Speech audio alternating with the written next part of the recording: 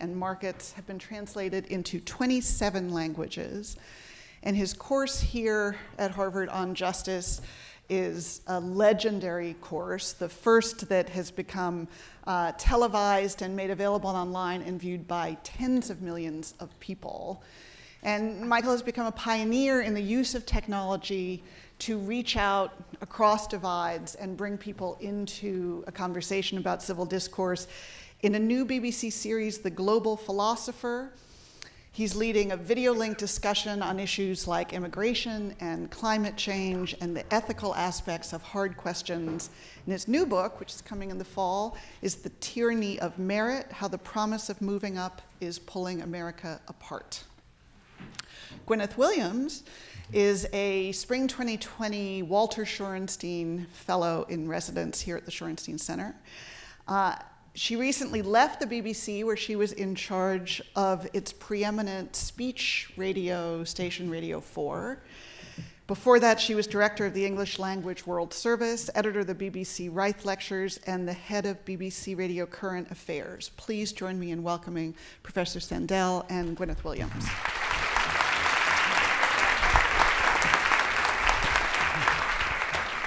Thank you, Nancy. I want to begin by putting a couple of questions to my friend Gwyneth Williams. Now, everybody here knows about the BBC. BBC Radio 4, which Gwyn led until just recently, is a special institution. And I want to make sure everybody here knows about the place of BBC Radio 4 in British life. It's, we don't have anything comparable here. It's, I would describe it as NPR, PBS, and the Atlantic all in one. That's really what it is in terms of its impact and significance in the, in the mm. public life and in the intellectual life of British mm. broadcasting. Is that a fair mm. description? Well, uh, how would you describe well, it? Well, it runs like a river through British national life. Yeah. And um, I think you know, it, it attracts around 11 million listeners a week. And to our, our morning program, you've got to listen to it really if you want to um, keep up with what's going on in Britain. The Today program is 7 million listeners a week. But as Michael says, it's, it is unique um, because it, it isn't just about the news and the current affairs. Um, and it isn't just about that kind of national conversation. It also, I mean, I when I was running Radio 4, I'd commission roughly 500 um, hours of documentaries a year, um, to 300 uh, comedy shows a year, 600 hours of drama. So it's it's something that the point is, I suppose. Look, it's it's built on Enlightenment principles, but with a Renaissance approach. So you want to bump into something, and then it takes you to something else. Um, so I don't know if any of you listen to The Archers, which is our daily drama, um, but um, it's quite extraordinary. Uh, the five million listeners a week, and we ended up. I ended up in the House of Commons talking about the Archers because we we had a story uh, about coercive control um, on that drama, and it turned into a national talking point, which actually was very helpful for mothers and babies in prisons, as it turned out, which is maybe irrelevant to this conversation, but it is a, it is a rather special thing. Thank you, Michael, for saying that, but it, it is true. The, yeah. the BBC has a special place in the history and practice of truth as it's received and incorporated into the public life of a society. And you, I, would like you to say a little bit about your first exposure to the BBC and what it meant to you growing up, which was not in Britain. No, right. Um, so I, I had a very early encounter on the importance of lesson about the importance of truth, really, because I grew up in apartheid South Africa. So it wasn't unusual for me to come home from school and find my father, beloved father, on the roof of our house. Admittedly, he, he was an eccentric professor, um, not like any uh, professors here, I'm sure, but on the roof of the house, fiddling with a shortwave radio aerial so we could hear the news, because that trusted, um, a truthful uh, BBC News was a lifeline in a society where there's propaganda everywhere. So I was hit quite early with the importance of truth, and it seems to me I've been wrestling with the, that issue ever since all my life. And you led the, the, BBC World Service before coming to BBC Radio 4, which is presumably what you were listening to in South Africa. Yes. It's ironic in a way. It's rather wonderful that I ended up um, uh, running the English World Service. Um, but uh, I suppose I, I, I took into the World Service um, the idea that the news agenda needs to be broader um, than it than it uh, currently than it was then. Um, and I ended up in quite an argument um, about rolling news. Um, they have a fantastic morning meeting um, at the World Service. So it's a nine o'clock meeting, and it's very quick because it's news. You know, uh, Nancy will know all about this. It's very harsh. You whiz round, and and everybody. Uh, you have an astonishing briefing from South South Asia, Africa, West Africa, Latin America. You know, right round, and you know everything. And then you, then the agenda's decided. But I pulled into that meeting quite quickly um, scientists and artists um, in order to stretch the news agenda. Because I think even then it was beginning to feel that rolling news felt was rather a narrow approach. And by rolling news, you mean? I mean, rolling news, I mean the what we've had for a few decades now, which is um, the sort of constant repetition hmm. of uh, a developing news story. It isn't to say you have to have obviously the news, and it's vital, and it's a key part of the BBC with its correspondents all around the world. It's absolutely vital.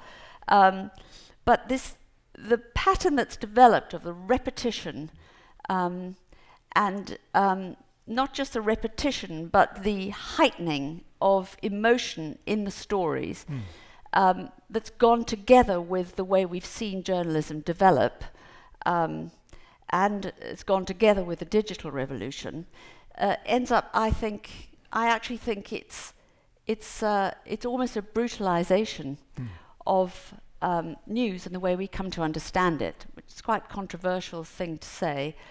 But um, I think the beginnings of that were, were sort of obvious to me, which is why I argued for a broader agenda.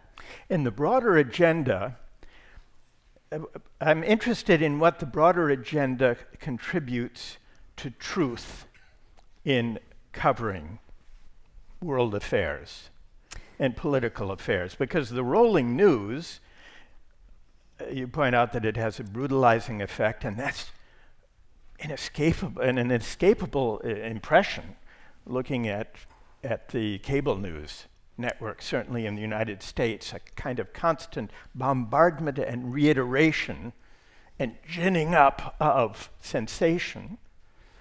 Now, how, as you see it, does broadening news coverage to include science, the arts, culture, is that an adornment to getting the facts right or is that part of capturing and conveying the truth? I think the latter. Um, and I think that um, it's not only about broadening the agenda, it's very important to say that I'm not saying we should move from hard news stories. What I think very strongly is that, that news stories need to be deepened.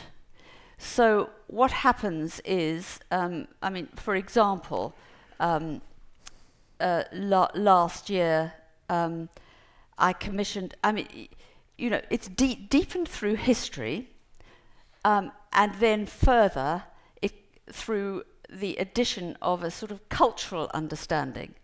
So, for instance, um, take the Arab Spring, which feels like an awfully long time ago, um, but when, when, when that news story was breaking, we were doing analytical pieces of course, investigative pieces and reports. But what you would also, uh, what, what you could also do then is um, bring in a cultural understanding. So I commissioned and I ran um, Naguib Mahfouz, the Nobel Prize winning writer's uh, Cairo trilogy, for example. So that gave us three generations of people growing up in, in uh, Cairo. Um, it took you right up to the um, Egyptian revolution from the beginning of the colonial um, period. And you, you could see through that the modernization of the society, the conflicts, and the development of, of uh, the role of women and how all that worked. So you didn't have to do that. You could take the news, you could take the current affairs programs, you could take the essays, you could take all the other commissions, but also if you really wanted to understand the society, yeah. you could dip into that, for example. Well, this this makes me think about I suppose it's a philosophical point about truth in news coverage. And that's to do with the relation between facts and truth. Are they one and the same? One way of testing this, here's a figure. Uh, I'll put it to this audience, see mm. what they know this, what this figure stands for. 16,241. Who knows what that is? Lies that, now how do yeah. they know that? well, the Washington Post yeah. has a fact checking uh, service and a website. That's actually the number of false or misleading statements that President Trump has told uh, during the first three years. So the, the total has increased since he surpassed the three year mark in office. Now, the Washington Post and other news organizations have done a very effective job at fact checking, at cataloging and analyzing and reporting false and misleading statements by this president. And yet, my impression is that important though this is as a matter of reporting mm. and news coverage, it hasn't changed very many people's views about President Trump or about the administration. Why do you suppose that is? Well, I think we've noticed the same, uh, that was a similar kind of thing during the Brexit referendum in 2016. Um, and which is that there's a developing thread which is away from uh, an, uh, an understanding of the world in terms of, of uh, facts and rationality. And um, what happened is there were various very well-known things like the 350 million pounds that was on the back of the buses that was the amount of money that was supposed to be uh, the UK was supposed to be paying to the European Union. In fact, it was a, a completely wrong statement. This, this, was a gross figure, not a net figure. And we, we challenged that and made it very clear.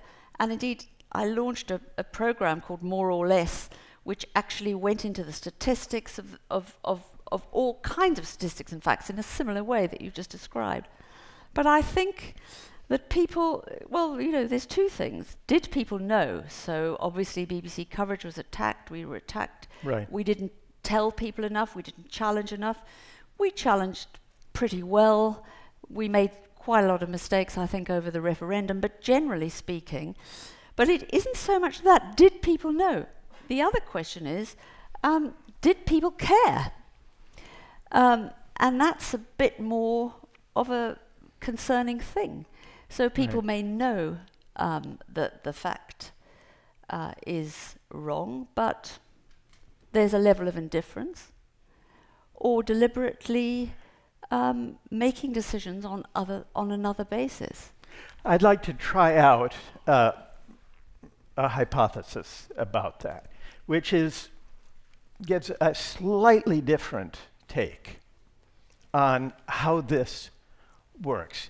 Now, one way of seeing it is people just don't care about the facts. With fake news and with social media and with alternative facts, we live in a post truth condition where the truth has ceased to matter in political life and in political persuasion. And the, the threat to democracy we see today consists in that, and we'll only solve it if we get people to pay attention to the facts and agree on basic facts.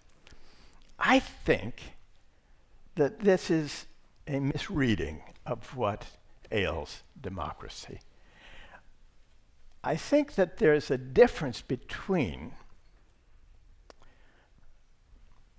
facts, factual truth, and what we might describe as moral or rhetorical or spiritual truth.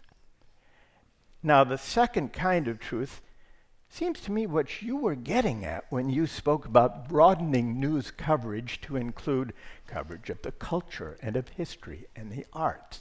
You were moving, I mean, this is my uh, reconstruction of what I take you to have been doing, Gwen you were broadening news coverage from factual truth to broader, moral, rhetorical, persuasive truth. And I think that the reason we disagree about the facts is because we disagree about the moral questions in politics, not the other way around. I think it's not that we disagree about moral questions and how to judge public life and political figures because we don't agree on the basic facts. We disagree on the basic facts because we have a deep divide, morally and ethically, which actually is something that you and I both tried to explore in some of the experiments we we've done with political discourse and argument on ethical questions. We have, and I wonder whether it's this is a good moment um, uh, for us to um, play an example of a clip of one of the programs that um, that you um, present called the Global Philosopher. Um, I remember you came to talk to me many years ago at the World Service and, and spoke so brilliantly about, or very persuasively about trying to get to the, the, the root, the, the issue that lies underneath events. And um, that was years ago, but when, when I got to Radio 4, we, we were able to do it. And we could only most recently do this because of the brilliant studios, digital studio at Harvard. Um, so we recorded it right here. I think the first one was in 2016. But we've got a clip of. And just, um, just to explain, yeah. so we, we brought together, we had been doing a series of programs, yeah. The Public Philosopher, where we would gather audiences and have debates about the ethical issues lying behind the headlines. Yeah. But this studio enabled us to do this we, we, we had a wall of 60 monitors uh, enabled to uh, bring together people from 30 or 40 countries at a time to engage in these discussions. Yeah, quite, uh, quite extraordinary. Um, but really, uh, it, it's probably the, one of the very best things I think that we've run, because it, it, it, it made a global, it, we were touching on the possibility of a global conversation for the very first time, but also we were trying to deepen the agenda in this way we've been, we've been trying to describe. And um, I think it's impossible really to overstate the importance of this sense that um, people want more. People want more. Um, people are hungry for knowledge and learning I've found in my travels, uh, for, particularly for the World Service. Um, I remember being in Ghana, for example, and a very young boy in his 20s said to me, um, we need to hear the truth, and you give us the truth. It's hard often, and, but thank you for that. I have to listen to, and he was talking about other coverage, not just the news coverage, because I want to understand how my country is. I can only do that in comparison with other countries. Mm. And also as a, as, a, as a fuller human being and a human experience. So I think we should maybe play this clip. What do you think? And just to explain that this yeah. particular program was uh, a free debate speech. free speech yeah. and hate speech and how, yeah. how to think about them. Yeah. Uh, let's bring back Marion and put uh, Kyung-hae and Marion uh, together on the screen. Uh, Marion, what do you say? What do you think? that there's been um, research that shows that like enduring microaggressions on a daily basis and um, having to hear that you're like I was saying before, humanity is being undermined. That is a kind of violence that takes a toll and does damage to people and groups of people. It isn't so much that you know everyone's just sensitive and coddling, and this sort of sticks and stones may break my bones is not valid here. It genuinely does. Words can cause a great deal of psychological harm. What about that, Kyung-hae? Well, I believe that Copernicus gave offense to religion and science by challenging the position of the sun in the earth. Martin Luther King gave offense to U.S. society and norms by challenging racism. And women are giving offense to a male dominating society by challenging inequality. And when you say protection, you assume that the people are weak and cannot defend themselves. But shielding women from misogyny or shielding ethnic minorities from racism, isn't that paternalistic rather than being progressive? All right, let's bring Frankie in Vancouver back to the screen to, um, to reply to Kyung-hae. I'm absolutely shocked because I feel that academic discussion gets in the way of reality and truth. And if Marion is on a subway in Somalia and someone shouts at her for the head garment that she is wearing, that is not helpful, Kyung from South Korea. That is not leading to her to feel empowered. That is not discourse. That is hate speech, and that is disgusting. Do not say what Martin Luther King said when he was uh, protesting for his rights was hate speech. Because what we are discussing is if a person should be able to degrade someone on their ethnicity, on their sexuality, on the way that they look. And I believe that what Marion chooses to wear because of the color of her skin should never be a reason to put hate speech against her. Kyung-hae. But I believe that offensive speech can only be defeated by more free speech, not limiting offensive speech. Therefore, free speech should not be limited, but rather expanded. Marion. I think we're confusing being offensive and like hate speech with just being disruptive. If you have a controversial idea, but you substantiate it really well, that doesn't make it hate speech, and um, that isn't something that we're arguing about being banned. But when um, someone's being attacked on the basis of something they can't change, and it's not contributing to a dialogue or actually furthering anything, then that in itself is is damaging and hate speech. So here we had as people could see, a, a round of debate among participants from Somalia, South Korea, and Canada. 60 different countries. Yeah. Yeah. In all, we had 60 over the, over the course mm. of the series to try, it was an experiment, mm. but to try to see what reasoned, but sometimes passionate, public discourse could be on some of the most vexing questions that mm. we are wrestling with in democratic societies. So, Michael, if I can just take back control a little bit to this point, as we say in the UK, um, I know it's we don't know how it's going to go, um, either here or, or there, but um, I remember the very first one of these programs that we did. Um, there was you, you you refer, this was and this one was about borders migration. Yeah. Do you remember that? Yeah. And you said at the end you quoted um, Rousseau, and uh, you said, well, you know, the famous thing that how can we care about calamities half a world away?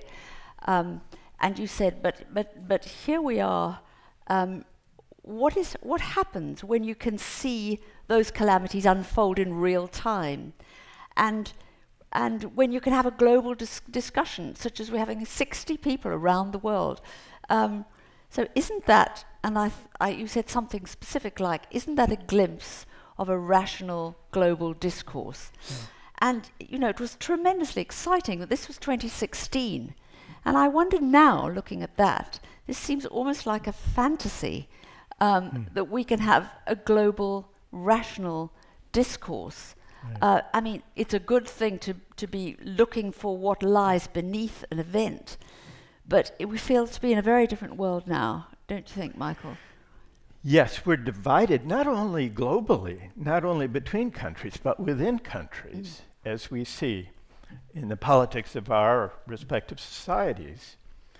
And uh, the question is how can we begin to address this deep polarization where people not only uh, don't know how to reason together mm. about big civic questions, but seem not to agree even on basic facts. And one, I guess there are two approaches to that. One, going back to these two accounts of what's gone wrong or how to address it, is to say, first we have to bring everyone to see the same facts, and then we can have the moral debates. Then we can disagree. And I think that misdescribes um, the source of the polarization. I think we first have to uh, learn uh, how to begin to argue with one another on the basis of civility and mutual respect, but sometimes genuinely to argue and disagree in public, to reason together, we will find ourselves appealing to facts about which there will be dispute. And in the course of those disputes, we may be impelled to test the various readings of facts. So the facts do come into it. But the facts, I think, that matter in politics are as contested as the opinions. And I think we should recognize that. Political persuasion is uh, as much about persuading our fellow citizens about the way things are, really, as about how they ought to be morally. Mm. And so I think there's an interplay between facts on the one hand and moral argument and persuasion on the other. And I think the only way to try to find our way to a better kind of public discourse is to recognize the interplay between facts and moral argument and political persuasion. And to do that, we have to begin to build our capacity to reason together about big ethical questions that matter, which is not an easy thing. But how do we f- fight our way um, out of the different silos that, that people find themselves in? Yeah. Um, and also in, uh, build a, a, a, public space uh, to, to, to draw people in. Because there is, I mean, the dogmatism, um, uh, the, the, the, the dogmatic approach, and also there's an element of what I think the Russians call it vranyo, which is telling an, an, untruth that everyone knows is an untruth. Mm. You know that I know that you know that it isn't true. Mm-hmm. But we still speak in this almost a surreal way. We will build a wall and Mexico will pay for the wall. And everyone knows this isn't going to happen. Yeah, the people who were applauding didn't really believe that Mexico no, would pay for the wall. No. So but they applauded because this is what Machiavelli referred to effectual truth. It was an effectual truth, even though no one actually thought Mexico will write a check and pay for the wall. Nobody thought that, well, but they, they knew what he meant. They thought, those who were uh, attracted by that mm-hmm. claim, when Trump made it during the campaign, they knew what he meant. He was not stating a fact or making a prediction, he was making an argument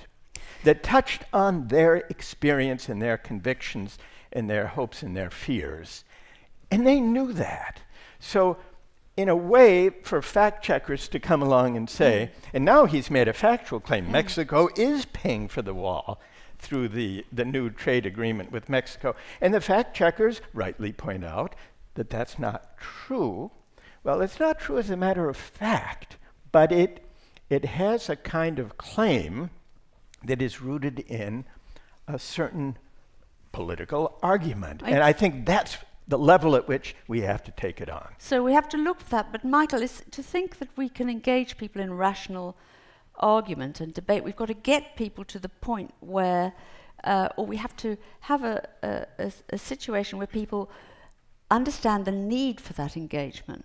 Right. And I think that's the that's really the kind of um, society that you have to build through through civil society, through um, creating a space where um, I mean, I guess we have it to a certain extent um, in England, a little in Britain, a little more than than here, because we have a wide um, public uh, a space where there's uh, public service broadcasting uh, is more widely accepted. Yeah. I mean, even now, uh, for instance, on Radio 4, the crossover with Daily Telegraph readers, for example, which is the, the leading right wing newspaper, is uh, more or less 100%.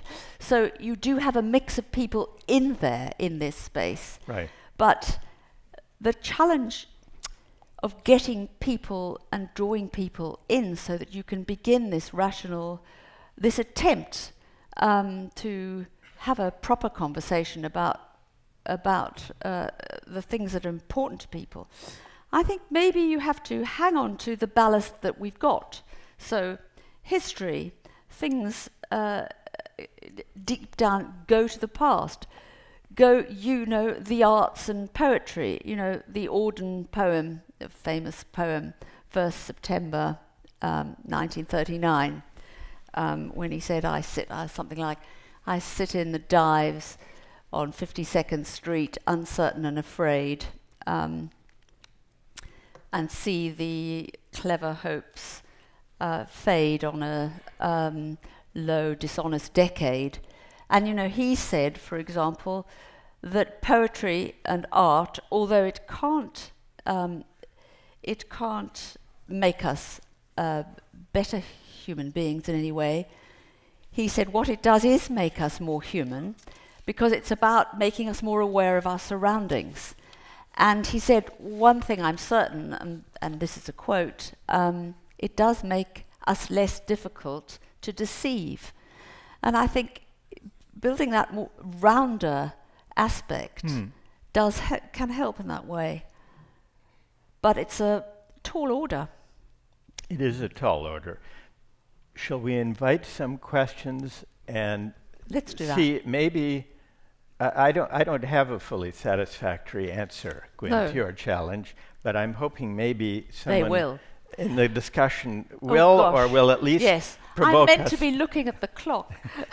but what I what I wanted to do just before opening to the uh, yes. to the questions is um, I've got I've, I'd like to read a very short quote, which is by Francis Bacon from his essay on truth. And I ran this on Radio 4 as a series um, on truth last year. And this is what he had to say 400 years ago. Hmm. So, 400 years ago. Each day brings new news, fresh causes for outrage, claims, and counterclaims. New forms of media circulate unverifiable and scurrilous rumors about public figures and events. Rival states accuse each other of interference and suspect their own citizens of foreign allegiances. Conspiracy theories snowball. 400 years ago. wow. So let's open to questions, absolutely. And we've got microphones. Uh, so if people who have questions would like to go to one of the microphones, feel free. And while people, oh, yes. I have, I have a question. I'm a, a graduate of uh, Harvard College and uh, the School of Education. My question is um, so, my father and all seven of his brothers and and my mother, among my mother and father, seven people served in the military.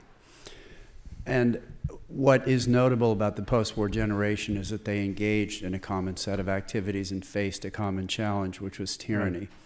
And so, my question is we no longer participate collectively right. in anything.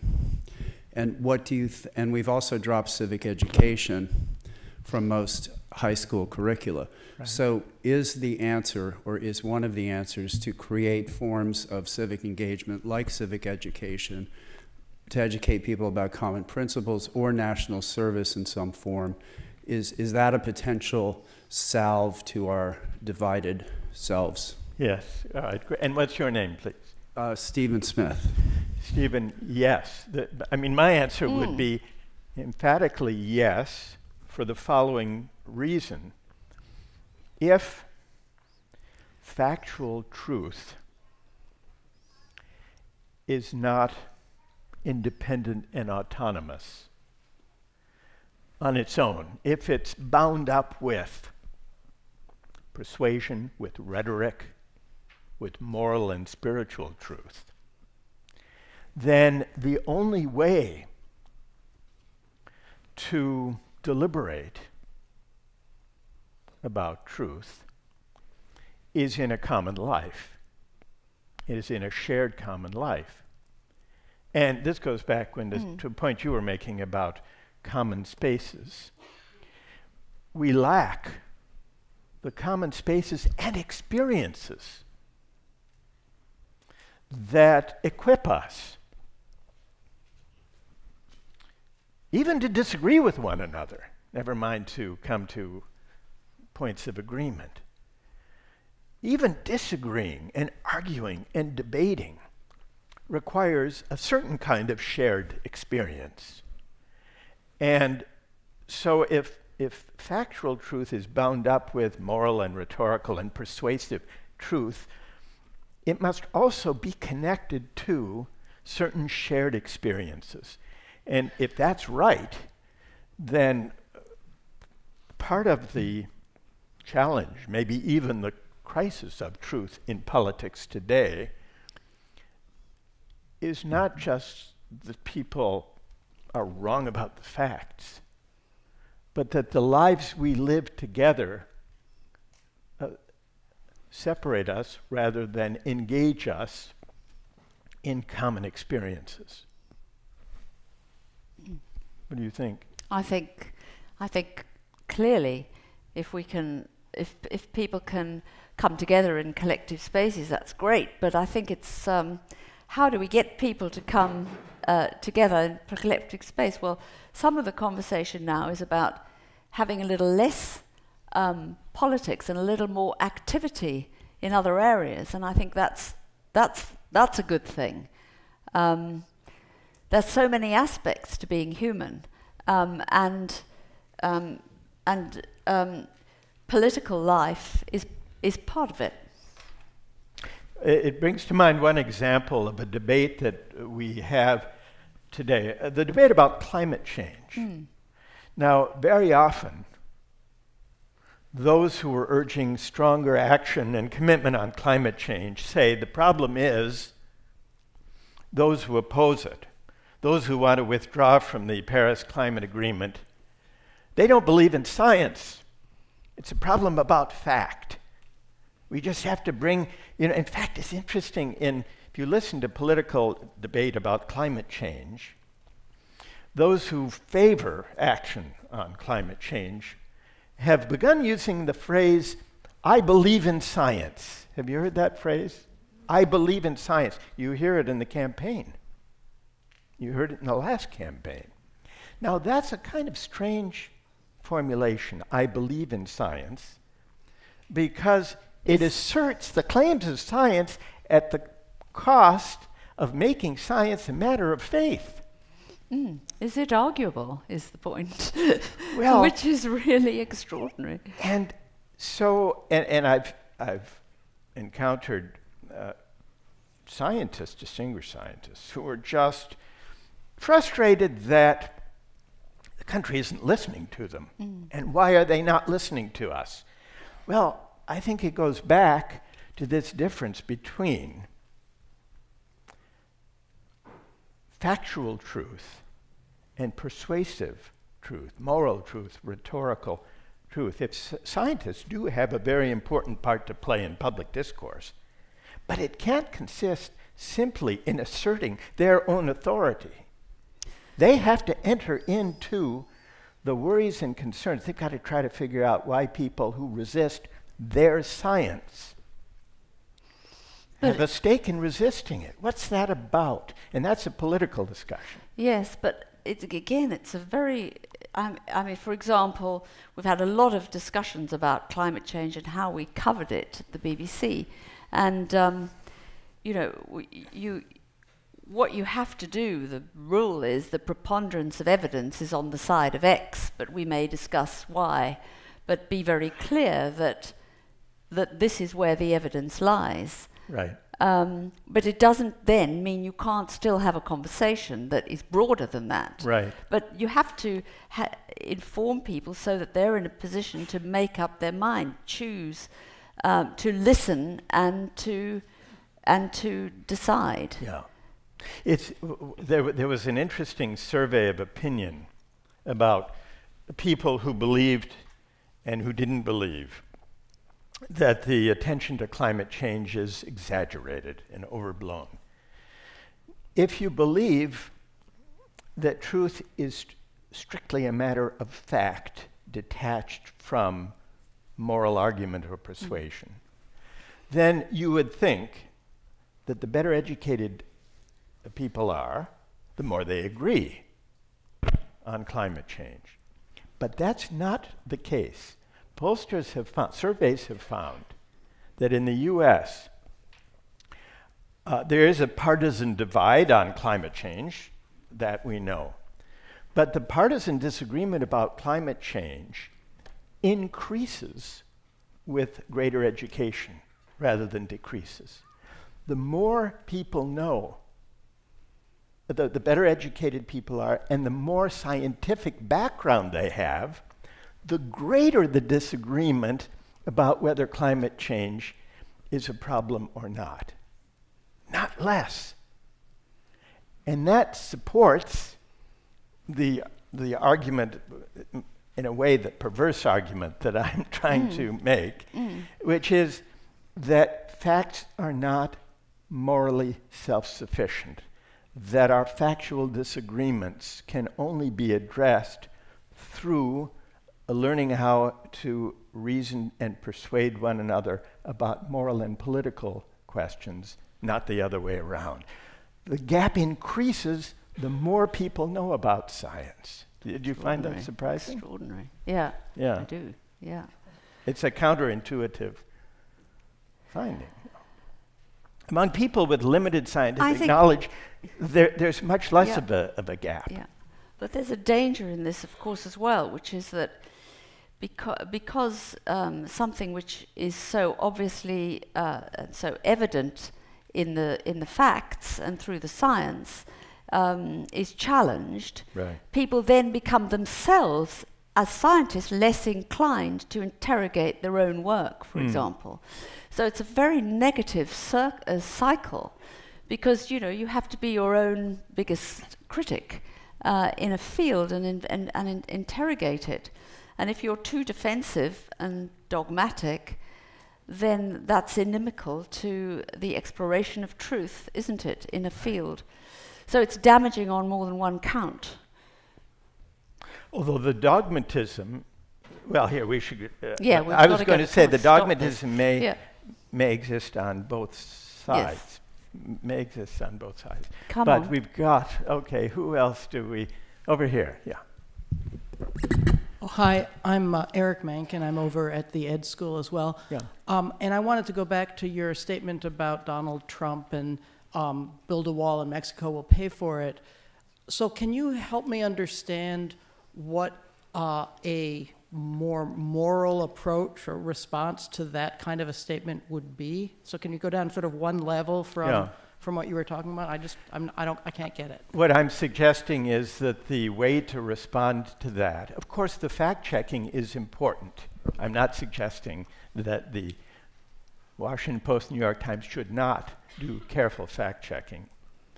But it's not enough to actually engage in the democratic project of political persuasion. To do that, I think we need to ask why is it that those who applaud that line and support that idea, well, Mexico will pay for the wall, we want the wall, and so on. Why is it? What is it about their lives and their experience that makes them feel threatened and even uh, ignored, disrespected by the, uh, the view of national borders that mainstream politicians have made available to them. Now, that's a political question. It's a contestable question. There are competing answers to it. But even posing that question invites a certain kind of dialogue between those who find that statement false and abhorrent and those who applaud it. And we have very little of that dialogue today. That's what I'm suggesting. Let's take some more. Yeah. Uh, standing next to me is Daniel Bergman, who is a student at GSAS. And his question is Do we need to give up on winning in order to create a culture of discourse? If we look at the uh, increase in peace in Northern Ireland and our hopes for peace in the Middle East. We want to, people to give up on the idea of winning hmm. and prefer peace to winning. Is that what has to happen here? Is winning inimical to a kind of dialogue, reasoned dialogue? Mm. And the example mm. of sort of Ireland. What do you think? Interesting question. Well, I think it's pretty difficult to get people to move away from wanting to win. Um, you only had to watch this debate last night to realize how badly people want to win. Um, but uh, I think um, it's the art of diplomacy, it's the art of compromise, it's a question of trying to move forward in these extraordinary, intractable issues. Um, you're going to have uh, people who will be very clear about the direction, but you will also have to have a lot of other activity going on to try and get there. And if people are just making statements and posturing, we'll get nowhere with it. Now, uh, uh, I'm tempted, well, there was another example I wanted to raise with a clip, but um, well, maybe maybe it can. Shall we? Do shall we do yeah. it? Winning should we give up on winning for the sake of peace or reasoned public discourse? Hmm. I would say not necessarily. It depends what the stakes are. And that's a moral question. One example of a powerful assertion when you were talking about broadening uh, coverage to include culture and the mm. arts one example of the potence of moral and rhetorical truth is offered up by music, especially music that has a political purpose and point. And sometimes that uh, music that conveys for political purposes moral or spiritual claims about truth. Take a historic example the US Civil War. The Battle Hymn of the Republic. Most Americans know the lyrics by heart. What's the truth status of, the, of that famous anthem, the anthem of the North, the abolitionist anthem? The Battle Hymn of the Republic. Whitney Houston performed that song in 1991 when U.S. troops returned in a kind of celebration of heroes, it was called, after the first Gulf War. We have a clip of Whitney Houston's rendition of the beginning of the Battle Hymn of the Republic, and as we listen to it, Be interested to hear what you think about the truth status of this anthem. Please stand and sing this song with me. Would you please? It's the Battle Hymn of Republic. Um, you know the words. I know you do. Mine eyes have seen the glory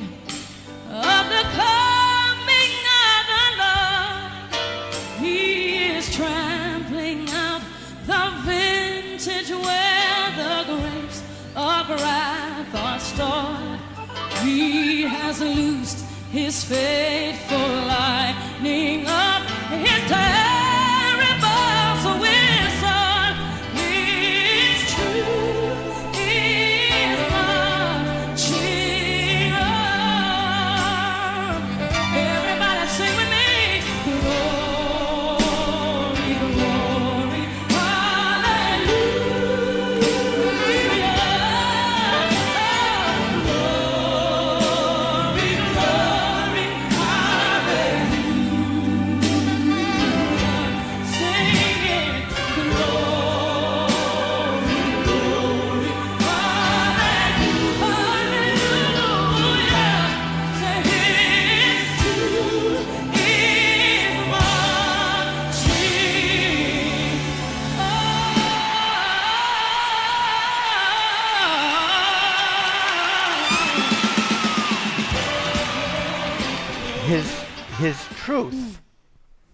Singing about truth. And so did those soldiers marching into battle, those Union soldiers during the Civil War. His truth is marching on. And for them, the future of truth, whether truth had a future, depended on who won that war. Now, what about that sense of truth? Does that, well, we'll put it first to the group, and then I want to put it to you, uh, Let's- Gwen. Uh, Two questions, I suppose. First, do you find it inspiring, the song? And the second, do you find it true? It has a message. Do you find it true? How many find it inspiring, first of all? And how many find it true? How many consider it true? The message. Well, that's the question. that's the question. What nobody, every, almost everyone found it inspiring, but no one I saw was willing to say that it was true. Hmm. What does that tell? What does that tell us, Gwen? What do you make of it? Well, I think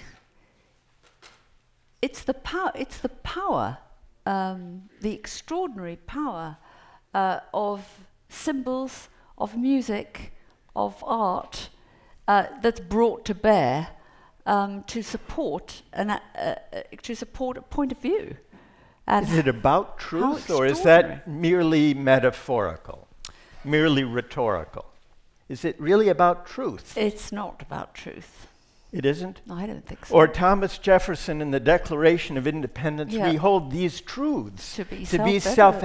evident that all men are created equal. now, was he not really talking about truth, would you say? That was just a kind of rhetorical flourish? no, he believed that thoroughly. And he It's the was either truth. right or he was Yeah, wrong. Yeah, he was right. And so, Yeah. and so were, so were those who were marching Fighting into battle. Yeah, They were, yeah. So it is about truth. it is about truth. Oh, Michael, you've done your philosophical thing here. We're a long way from straightforward journalistic truth, Well, but you're absolutely right to go there because this is where we, this is what we need to do to understand this this properly. This is our, but our political Yeah. condition Yeah. is fraught with, isn't it? I mean, this is my question, I suppose, fraught with this uh, deeper, more contestable notion Yes. of truth. to do with moral truth, persuasive truth, rhetorical truth, which is more than fact checking can reach. And we've And- got to find it Yeah. because otherwise we're sort of locked into this polarized, fragmented worldviews, is the thing. Yeah. Which, well, that's the suggestion. I think we have time for Yeah. another. Yeah. Hi, I'm Tim Reddon. I'm a Cambridge resident. Um, thanks a lot for doing this and for coming out. When it comes to the questions of you know how journalists need to adapt and dig deeper, shine a light, and provide context, um, I read this article in the Washington Post December 17th about the Russian disinformation network that Yeah. uh, was spreading um, lies about Ambassador Yovanovitch. And they cited uh, this web analysis firm Graphika, which is um, based in New York. It's highly specialized, uses artificial intelligence. So I guess my question is, and personally, I appreciated knowing that. I thought it was useful context for me to understand major events. But as I understand, that's it's still highly specialized skills. But then also the question is: Is there a new set of ethics? Does this need to be um, become part of just standard practice in journalism to find out who the interlocutors are on social media and do some kind of, you know, in a time of information warfare and whatnot. Um, and how do you do that with and protect, you know, the integrity of actual people who are have complaints who may accidentally be repeating what is basically Russian propaganda, but um, they're not doing it out of ill intent. Thanks. Well, it's extremely, it's extremely difficult to assess the truth of something without um, being able to, to in an anonymous situation, if something's anonymous, this is the major problem with, with social media. So it's very hard for people to decide what is truthful and where they should place their trust. Um, but I just think, I think, um, I mean, I really don't know the answer to this. It's too uh, challenging.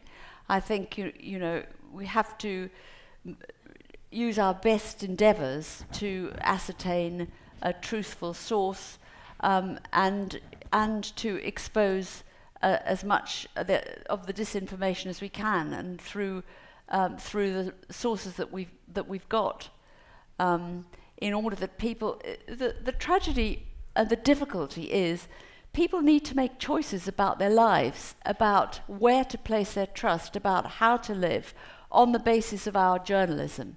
So, you know, and, and you have to. Um, uh, provide that in as best and as dispassionate a way as you possibly can. And it's immensely challenging, as, as we've all been saying here tonight. So, Let's bring in one more. Yes.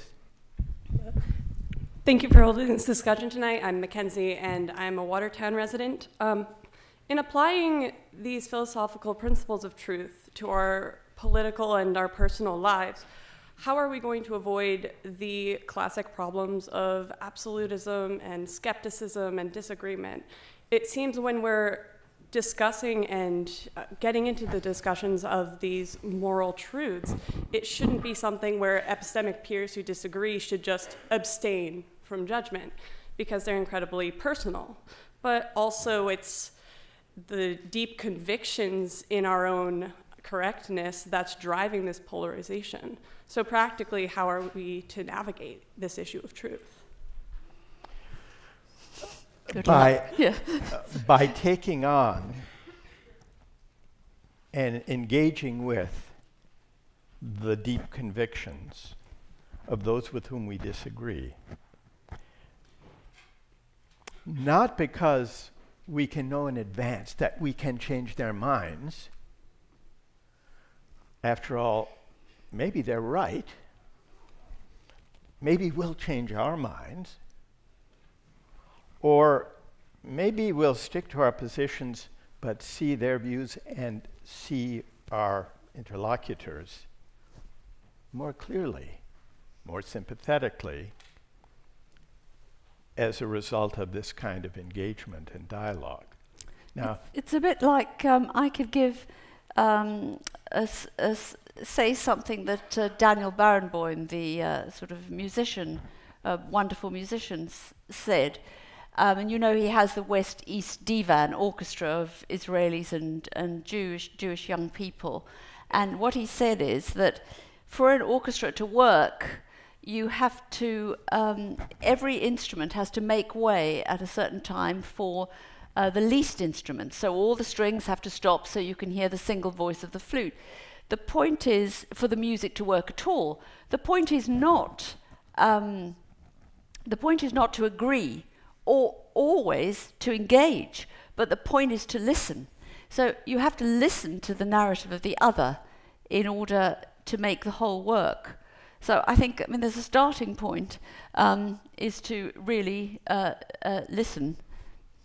I, I think that, um, Gwen, you should have the last word. But before you do, before you do, um, an observation backed up by a poem.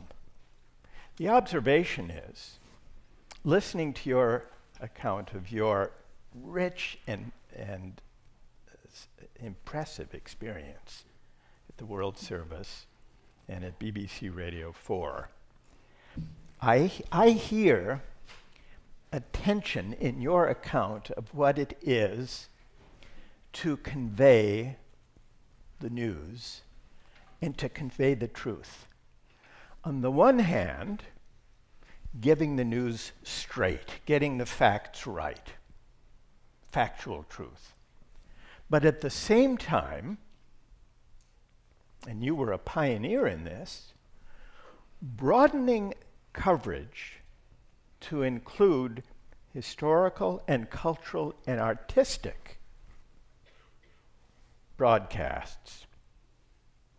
Not as a kind of adornment or entertainment with the news to one side, but as a way of conveying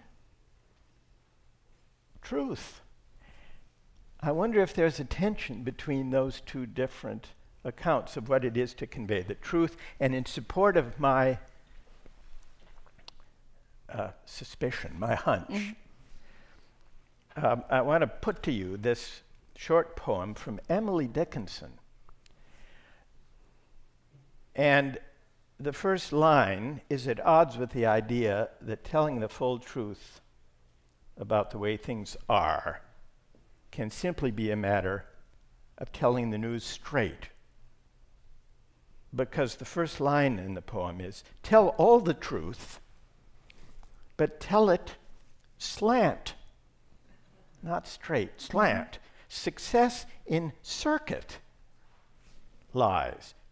Too bright for our infirm delight, the truth's superb surprise. As lightning to the children eased with explanation kind, there's rhetoric, mm-hmm. the truth must dazzle gradually, or every man be blind. It's wonderful. what do you think? I think it's, I think it's extraordinary. That's the cultural side of it what is. you yeah. brought to the BBC, and its notion and your notion of the truth. truth. Imaginative, Imaginative truth. truth.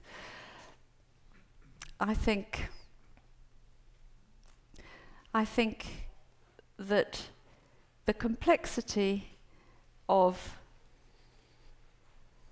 living in the world and of moving beyond yourself into a body politic and into the nation state and beyond that um, is such that you have to bring everything to bear on trying to understand um, how we live together and what is happening. And people, people are able to bring different expertise and different um, knowledge to, to the party, and it's all relevant. So the question is, how do you distill that and convey it somehow in this cross multidisciplinary, crossing borders and boundaries, geographically as well as culturally and subject wise. And this is the endeavour, really, and it's a pretty big one. but I'll close it down then. So I've just been here a couple of days, and I've certainly picked up quite a lot of pessimism about Western democracy or democracy generally. Um, But I thought that I would just close um, with a short clip from a Reith lecturer, a fellow Reith lecturer, um, because Michael, I claim him really as a BBC Reith lecturer.